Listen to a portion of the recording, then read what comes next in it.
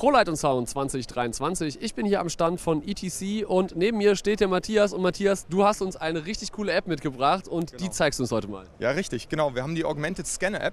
Viele Leute, die im 3D-Raum arbeiten, in einem Visualizer oder eben bei uns in Augmented, haben ja das Problem, dass sie irgendwie diesen 3D-Raum in das Augmented oder in den Visualizer reinbringen müssen.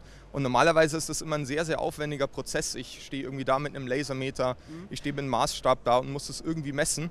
Und wir haben eine App, die das für euch macht. Ich würde sagen, wir schauen uns das Ganze mal an, weil du hast es uns auch mitgebracht. Wir kommen einmal mit der Kamera so ein bisschen ran und wir haben hier vor uns einen Raum, ne? Genau richtig. Wir haben hier so einen kleinen Demoraum und den können wir jetzt hier sehr einfach mit dem iPad scannen. Also wir können uns hier Messpunkte setzen und ihr seht schon, wenn wir zwei Messpunkte haben, misst er die Distanz zwischen diesen beiden Punkten. Wir können uns auch hier verschiedene Objekte einfügen. Wir können uns hier eine Tür einfügen. Wir können zum Beispiel sagen, hier nach hinten geht noch ein Gang. Wir können die Tür, äh, Türhöhe setzen. Wir können uns Ecken in den Raum einfügen und ihr seht auch schon, er erkennt sehr, sehr gut die Wand hier drüben. Er erkennt automatisch die Ecken und das hilft mir halt wirklich sehr schnell dann, diesen Raum im dreidimensionalen nachzubauen. Hier beispielsweise dieses Fenster. Ich kann die Unterkante des Fensters festlegen, die Oberkante. Das sieht alles wirklich sehr, sehr einfach aus, wie du das wirklich machst. Also ich glaube, das ist wirklich sehr, sehr nutzerfreundlich. Ja, genau. Also hier einfach nur diese Fenster, äh, diese Bühnenkante hier drüben setzen. Wir können auch sagen, wir haben einen Bereich, wo eben keine Wand ist. Das machen wir hier jetzt. Gehen hier rüber. Und das wird dann später als eine Fläche ohne Wand eingefügt, aber wir haben hier eben noch ein Bühnenpodest.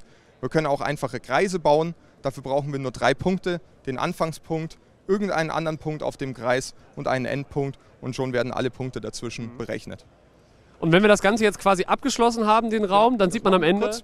Genau, am Ende sieht man dann den Raum. Wir sagen jetzt hier die Deckenhöhe festlegen, Bild 3D und schon haben wir unseren dreidimensionalen Raum.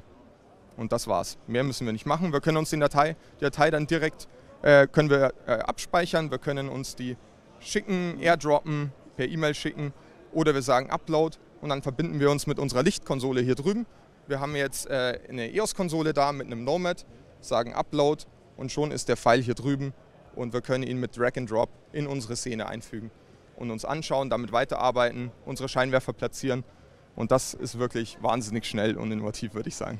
Ich glaube auch, also ich glaube, so schnell hat man eine Venue noch nie eingescannt bekommen und äh, finde ich eine super I- Lösung. Und äh, wenn ihr da weitere Informationen haben wolltet zu dieser Lösung, gerne bei der ETC-Webseite vorbeischauen und äh, da findet ihr weitere Informationen dazu. Vielen Dank.